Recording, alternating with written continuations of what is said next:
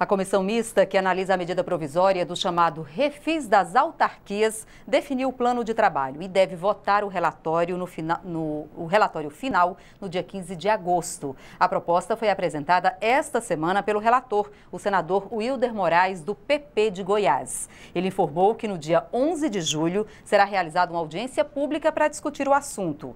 A ideia é ouvir representantes do Ministério da Fazenda, da Procuradoria-Geral Federal, do Ministério do Planejamento e de duas agências reguladoras ou órgãos de fiscalização. O relatório final deve ser apresentado no dia 8 de agosto e pode ser votado no dia 15. Confira agora o que prevê a MP, chamada de Refis das Autarquias.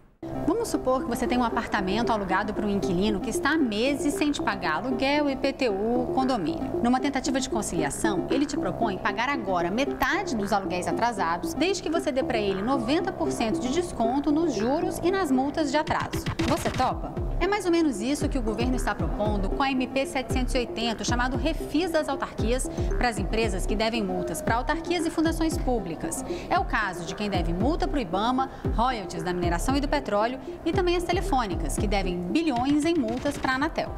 As empresas devedoras podem optar entre quatro modelos de parcelamento pagar metade do valor principal da dívida agora e a outra metade em janeiro do ano que vem, descontados 90% dos juros e da multa de mora.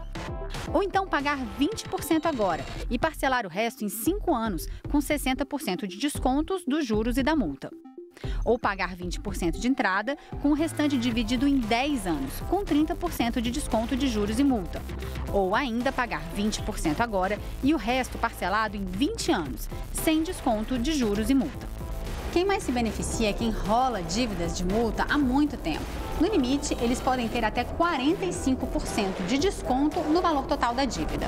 Na ponta do lápis, o governo pode deixar de arrecadar no ano que vem 530 milhões de reais em multa, mas espera com a medida arrecadar só esse ano 3 bilhões e 400 milhões de reais de empresas que podem decidir regularizar a sua situação. Ou seja, como em todo programa de refinanciamento, a principal vantagem é que aumenta o caixa do governo.